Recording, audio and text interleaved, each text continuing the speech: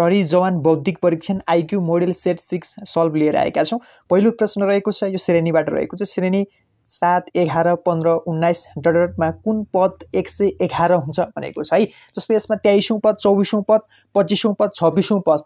यसमा यो रफ नगरिकन यसको समाधान हुँदैन है। यसको जान लागि जस्तो टोटल नम्बर बराबर A plus n minus one जुन ब्राकेट क्लोज ब्राकेट डी। यति फर्मुला याद गर्नुपर्छ। यो फर्मुला कसरी याद गर्ने भन्दाखेरि तपाईँ जस्तो यसलाई डाइरेक्टली गर्दाखेरि यो फर्मुलाले सजिलो हुन्छ। जस्तो यहाँ स्क्रिनमा हेर्न सक्नुहुनेछ हामी। जस्तो यहाँ T n equal to A plus n होइन? A plus n minus one into D गर्ने। जस्तो टोटल नम्बर टिएन भनेको कति त? यसमा एक सय एघार छ है? जस्तो यसमा एक सय एघार कुन पद एक सय एघार हुन्छ भनेको चाहिँ यसमा टोटल नम्बर एक सय एघार छ होइन? इक्वल टु जस्तो अब ए भनेको कति? सेभेन। ए भनेको हामीले पहिलो लेटर लिन्छौँ है जस्तो यसमा सेभेन अथवा पहिलो फाइभ थियो भने फाइभ लिन्थ्यौँ तर सेभेन छ यहाँ सेभेन लियौँ। अनि डी भनेको एघार माइनस सात इक्वल टु चार। डी भनेको कति भन्दाखेरि यसको ग्यापिङ हुन्छ जस्तो जहिले पनि तपाईँहरू एघार माइनस सात अथवा पन्ध्र माइनस एघार अथवा उन्नाइस माइनस पन्ध्र गर्दाखेरि सोह्र सत्र अठार उन्नाइस जहिले पनि चार हुन्छ। डी भनेको चार हुन्छ।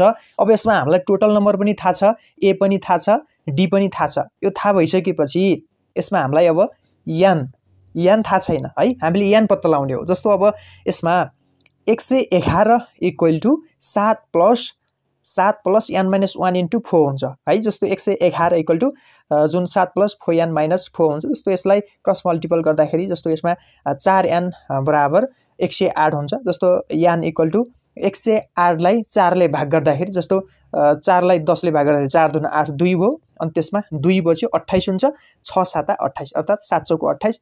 यो र यसको राइट एन्सर रहेको छ। एन्सर रहेको छ अप्सन नम्बर डी अर्थात् यसमा सत्ताइसौँ हुन्छ है। यहाँ छब्बिसौँ भएको रहेछ यसको राइट एन्सर छब्बिसौँ हुँदैन यसमा सत्ताइस हुन्छ। यसमा जुन चारले एक सय आठलाई भाग गर्दाखेरि सत्ताइस हुन्छ। तपाईँकोले गर्दाखेरि यसको राइट एन्सर सत्ताइसौँ हुन्छ है। दोस्रो प्रश्न रहेको छ। चौध सोह्र बाहन्न भनेको छ। यस्तो प्रश्नमा जहिले पनि सम्बन्ध के गर्ने भन्दाखेरि तपाईँले के हेर्नु होला भन्दाखेरि पहिलोको सम्बन्ध दोस्रो कसरी बनेको छ र तेस्रो बन्दाखेरि जहिले पनि त्यो पहिलोकै रुल फलो हुन्छ है। पहिलोकै नियम चाहिँ लागु हुन्छ। कसरी भन्दाखेरि दुई प्लस चार कसरी सोह्र भयो त्यो चाहिँ थाहा पाउनु होला तपाईँहरू। जस्तो चौबिस सोह्र यो घटाएर नि हुँदैन। अब यसमा के लजिक छ भन्दाखेरि यसमा तपाईँले यहाँ हेर्न सक्नुहुनेछ जस्तो स्क्रिनमा पनि हेर्नु होला हामीले यो रफली गरेका छौँ। जस्तो यसमा चार प्लस दुई चार प्लस दुई छ छ इन्टु दुई यसरी हुँदैन। चार दुना आठ चार दुना आठ चार इन्टु चार इन्टु दुई इन्टु दुई गर्दाखेरि सोह्र हुन्छ।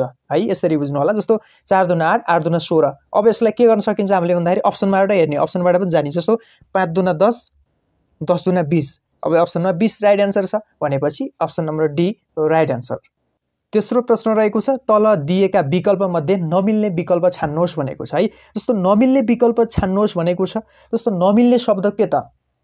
तेस्रो प्रश्न हेर्नु होला एक सय असी चार सय नब्बे तिन सय चालिस दुई सय सत्तर यो ठुलो सङ्ख्या दिएको छ यसमा। भाग जाँदाखेरि जस्तो डिभाइड मल्टिपल प्लस हामीले यस्तो हेर्नुपर्ने हुन्छ है। यो हेर्दाखेरि जस्तो अब यसलाई खासै कस्तो लजिक लागु छ भने जस्तो एक सय असी एक प्लस आठ प्लस शून्य गर्दाखेरि नौ हुन्छ। चार प्लस नौ प्लस शून्य गर्दाखेरि तेह्र हुन्छ। तिन प्लस चार प्लस शून्य गर्दाखेरि सात हुन्छ। दुई प्लस सात प्लस सात गर्दाखेरि सोह्र हुन्छ। अब यसमा लजिक के छ भन्दाखेरि नौ तेह्र सात भनेको चाहिँ बिजोर सङ्ख्या भयो है?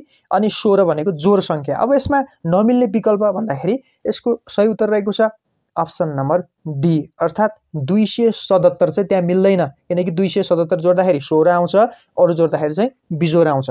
यति कुरा ख्याल गर्नु होला अर्को रहेको छ चौथो प्रश्न। आठ अठार तिस चौवालिस भनेको छ। अब यसलाई झट्ट हेर्दाखेरि तपाईँहरूले दुन सोह्र प्लस दुई अठार दुना छत्तिस प्लस दुई यो त छैन फेरि यस्तो है?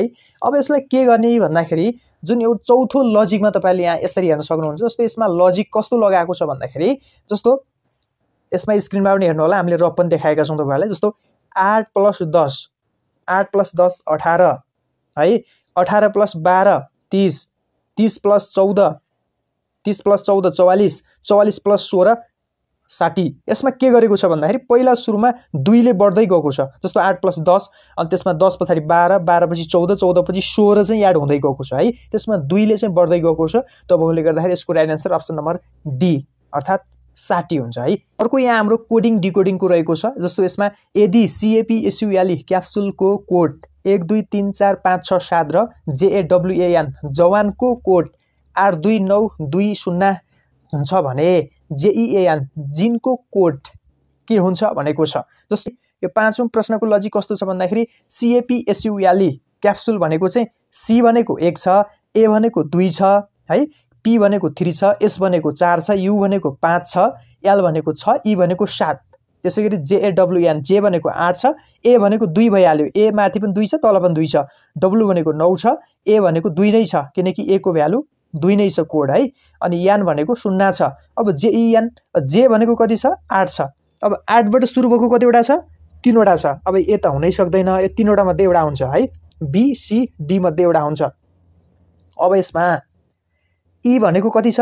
ई भनेको सात। आठ सातबाट सुरु भएको कतिवटा छ? एउटा छ। Option number D right answer त छैटौँ प्रश्न रहेको छ। जुन छैटौँमा तपाईँले हेर्न सक्नुहुन्छ यो छैटौँ खालि कस्तो छ भन्दाखेरि जस्तो पानीमा सदैव के हुन्छ भनेको छ? सिओ टू ओ टू याने सिओ भनेको छ। जस्तो पानीमा सधैँ के हुन्छ त?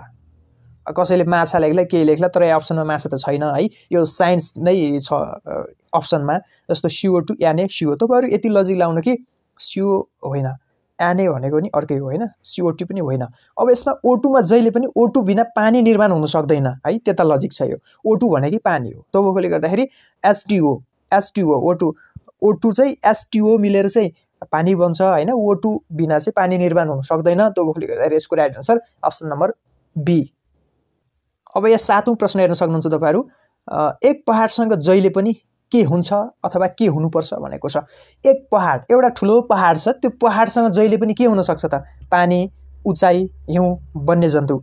एउटा ठुलो पहाड छ त्यो पहाडमा जहिले पनि पानी त हुन सक्दैन पानी नहुनु पनि सक्छ त होइन? अब हिउँ हिउँ पनि नहुनु पनि सक्छ वन्यजन्तु नहुनु पनि सक्छन् त्यहाँ जङ्गलै छैन भने तर पहाड छ भने त्यहाँ त्यो नहुनु पनि सक्छ तर एउटा पहाडमा जहिले पनि उचाइ हुनुपर्छ। उचाइ बिनाको पहाड हुँदैन है त्यो कुरा ख्याल गर्नु होला। त्यो भएकोले गर्दाखेरि right answer option number B अर्थात् उचाइ। अब यहाँ आठौँ प्रश्नमा जान्छौँ। आठौँ प्रश्नमा बहादुरीमा सदैव के हुनुपर्छ भनेको छ? बहादुरीमा ज्ञान साहस अनुभव रूप। बहादुरीमा सबै बहादुरीमा ज्ञान नहुनु पनि सक्छ। है जस्तो अनुभव। अनुभवकै आधारमा बहादुरी नहुनु पनि सक्छ। रूप। अब रूपले बहादुरी हुने कुरा त झन् हुँदै भएन।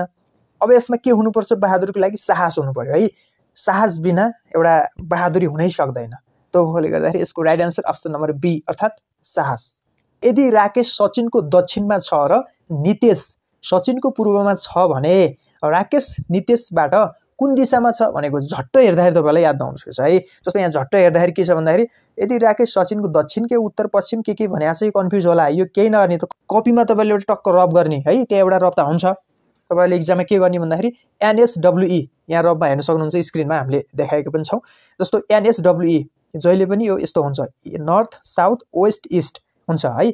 यति कोर्ने कपीमा यतिबाट हामीले सबै प्रश्नको यस्तो जस्तो सुकै आए पनि गर्न सक्छौँ है? जस्तो यहाँ अब हामीले यहाँ हेर्न सक्छौँ। जस्तो सचिन के भनेको छ यहाँ? राकेश सचिनको दक्षिणमा छ। राकेश यहाँ तल हेर्नु होला फिगरमा पनि मैले गरिदिएको छु। यहाँ जस्तो राकेश सचिनको दक्षिणमा छ भनेपछि यहाँ दक्षिणमा छ तर नितेश सचिनको पूर्वमा छ। अब नितेश सचिन यहाँ भयो। सचिन चाहिँ कहिले सचिन चाहिँ वेस्टमा छ। सचिन वेस्टर्नमा छ वेस्टर्न अथवा सचिन पश्चिममा छ भने यहाँ तपाईँले चित्रमा हेर्न सक्नुहुनेछ। जस्तो यहाँ सचिनको जुन नितेश सचिनको पूर्वमा छ भने राकेश नितेशबाट कुन दिशामा छ भनेको छ है? यहाँ जस्तो जुन यसरी हेर्न सक्नुहुन्छ यो सेन्टर भयो। अब सेन्टर पछाडि यो चाहिँ पूर्वमा छ नितेश पूर्वमा छ। अब यहाँ लास्टमा के सोध्यो भन्दाखेरि राकेश नितेशबाट कुन दिशामा छ भनेको छ। अब राकेश यहाँ छ नितेश यहाँ छ। कुन दिशामा छ भन्दाखेरि साउथ वेस्टमा छ। साउथ वेस्ट भने दक्षिण पश्चिम हो। दक्षिण पश्चिम कद कुनमा छ? अप्सन नम्बर बी त्यो भएकोले गर्दाखेरि right answer option number B छ। प्रहरी जवानमा तपाईँलाई दसवटा मात्रै आइक्यू सोध्छ है। यस्तै खाले सोध्ने हो। हामीले सिलेबसभन्दा बाहिरको प्रश्न गराएको छैन। यस्तै सोध्ने हो तपाईँहरूलाई। ख्याल गर्नु होला एक बिहान सूर्योदयपछि विनिता एउटा खम्बातर्फ फर्केर उभिएकी थिइन्। यस अवस्थामा खम्बाको छाया विनिताको दायाँतर्फ थियो भने उनी कुन दिशातर्फ फर्किएकी थिइन्? अब अगाडिको लजिक फेल खायो यहाँ। किनकि एनएसडब्ल्यु कोरेर काम छैन यहाँ। जस्तो के भने सूर्योदय भनिसक्यो। जहिले पनि बिहान अब यहाँ स्क्रिनमा हेर्नु होला तपाईँहरूले हामीले देखाएको छौँ जस्तो एनएसडब्ल्यु त बनाउने तर त्यसकै आधारमा गएर मिल्दैन यहाँ। किन मिल्दैन भन्दाखेरि यहाँ सूर्योदय र भनिसक्यो। सूर्योदय भने सूर्य जुन अस्ताउने अथवा सूर्योदय हुने बेला चाहिँ फरक हुन्छ त्यसको छाया। जहिले पनि सूर्य पूर्वबाट आउँछ है? पूर्वबाट चाहिँ सूर्योदय हुन्छ भने त्यसको छाया जहिले पनि पश्चिम हुन्छ पश्चिमबाट हुन्छ। यहाँ नोटमा पनि दिएको छ हामीले। जस्तो बिहानको समयमा सबै वस्तुको छाया पश्चिमतर्फ हुन्छ। है? पश्चिमतर्फ हुन्छ। त्यो कुरा ख्याल गर्नु होला। जस्तो यहाँ मैले तपाईँलाई यहाँ कपीमा पनि दिएको छु जस्तो यहाँ हेर्न सक्नुहुनेछ जस्तो यहाँ खम्बा छ है एउटा मान्छे छ अनि जस्तो यहाँ जुन फर्केर उभिएकी थिइन् भने खम्बाको छाया निताको।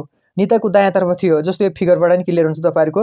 एउटा यो निता यहाँ थिइन् अनि खम्बा थियो। खम्बाको वेस्टतिर परेको थियो अनि उनको निताको चाहिँ लेफ्ट ह्यान्ड यता विनितातर्फ थियो होइन? यो विनिताको चाहिँ लेफ्ट ह्यान्ड यता थियो राइट ह्यान्ड यता थियो होइन? साउथ दक्षिण। अब यसमा खम्बाको छाया विनिताको जस्तो यसमा के हुन्छ भन्दाखेरि खम्बाको छाया विनिताको दायाँतर्फ जुन दायाँतर्फ देखि देखिनको लागि है दायाँतर्फ देखिनको लागि विनिता दक्षिणतर्फ फर्केको हुनुपर्छ। यहाँ फिगरमा पनि तपाईँहरूले स्पष्ट देख्न सक्नुहुनेछ यहाँ पश्चिममा यसरी फर्केको छ। सूर्यको कुरा आयो भने जहिले पनि तपाईँहरू सूर्य पूर्वबाट आउँछ र त्यसको छाया पश्चिमतर्फ हुन्छ र तपाईँहरूले सोध्ने भनेकै त्यो उक्त उभिएको व्यक्तिको दायाँ हात बायाँपट्टि कुन कति थियो कता थियो भनेर यस्तै खाले सोध्ने हो। यो कुरा मजाले गर्न सक्नुहुन्छ है। उत्तर रहेको छ।